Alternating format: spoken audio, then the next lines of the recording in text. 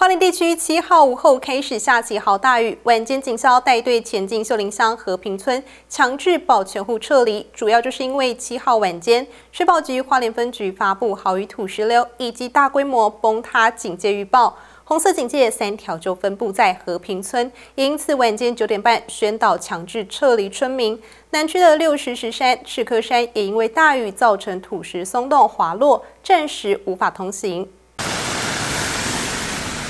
滂沱大雨倾泻而下，开着大灯的轿车都快被雨势遮蔽了视线。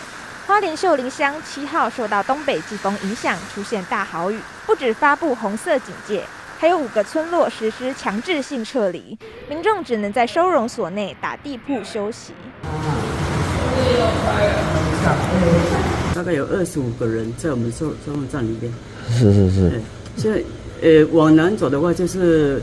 崇德、富士、秀林跟景美，那个我们也是有做那个预防性的测预防性撤离了。花莲县府也已经宣布，秀林乡和平村八号停班停课，让民众好好避雨。而豪雨除了让人受到影响，也造成不少山区严重坍方。那你们有经过那个旧苏花线吗？什么汉本那些地方？没有，那有的地方已经封起来了，都封闭了。对对对，现在在抢修，有土石流。六十石山产业道路五公里处，以及赤科山产业道路约七点四公里处，因土石松动导致落石，暂时无法通行。